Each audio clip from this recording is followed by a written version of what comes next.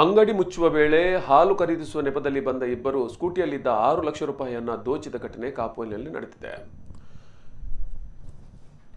ಅಂಗಡಿ ಮುಚ್ಚುವ ವೇಳೆ ಹಾಲು ಖರೀದಿ ಮಾಡುವ ನೆಪದಲ್ಲಿ ಅಂಗಡಿ ಮಾಲೀಕನ ಸ್ಕೂಟಿಯಿಂದ ಆರು ಲಕ್ಷ ರೂಪಾಯಿ ನಗದು ದೋಚಿ ಪರಾರಿಯಾದ ಘಟನೆ ಗುರುವಾರ ರಾತ್ರಿ ಕಾಪುನಲ್ಲಿ ನಡೆದಿದೆ.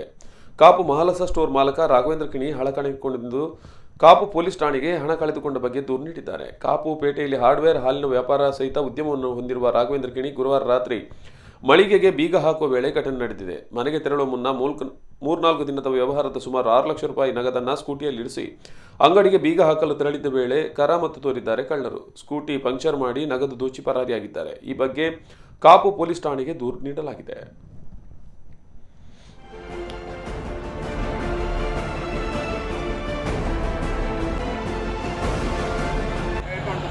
ಕ್ಯಾಶ್ ಮೇಂಟೈನ್ ಮಾಡ್ಕೊಂಡು ಎಂಬುಲೆ ಅಂತ ಬೇರೆ ಐದು ಮನೆ ಕುದರ್ದು ಬೇರೆ ಇಡೀ ಬರ್ಕೊಂಡದ ಮನೆ ಕುದರ್ದ ಡೈಲಿ ಪೇರ್ದ ಕ್ಯಾಶ್ ಒಂಜಿ ಪತ್ತೆ ಪಸ ಐವತ್ತು ಸಾವಿರ ರೂಪಾಯಿ ಇರ್ತದೆ ಅವರೊಟ್ಟಿಗಿಂತ ಕಾಟ್ ಮಾಡ್ರಿ ಏನಲ್ಲ ಡಬಲ್ ಅಕೌಂಟ್ ಕ್ಯಾಶ್ ಇದೆ ಸಿಕ್ಸ್ ಲ್ಯಾಕ್ ಪಾಡದ ಎಷ್ಟು ಹತ್ತು ಗಂಟೆ.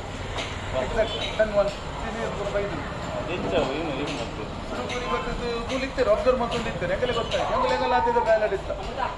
ಮತ್ತೆ ಬೇರೆ ಕೊಡ್ರಿ. ಲಾಸ್ಟ್ ಮಿನಿಟ್ ಬೀಗ ಪಾಟ್ನಾಗ ಬೇರೆ ಕೊಡ್ರಿ ಇದು ಬೇರೆ ಕಾಳೆ ಹಣ್ಣು ಅನ್ಕೊಂಡು ಟೌನ್ ಕೊಂಡು ನೈಟ್ ಇರೇನು ನಮ್ಗೆ ಒಂದು ಬೇರೆ ಕಾಳೆ ಹಣ್ಣು ಮಾರ ಹೋಗಿನಿ ಬೇರೆ ಕಾಳೆ ನಿಂತದು ಬೀಗ ಪಾಡ್ಲು ಬಂಡಿ ಬಂಡೆ ಹೋಯ್ ನೆಕ್ಸ್ಟ್ ಈ ಗಾಡಿದ ಬೀಗ ತಪ್ಪಲಾಗ ಬೀಗ ತಪ್ಪಲ ಪೂರ ಫೋನ್ ಮಾಡಿ ಕೇಂಡ ಹೋಲ್ತಿದ್ದಾರೆ ಮಾರು ಬೀಗ ಅಂತ.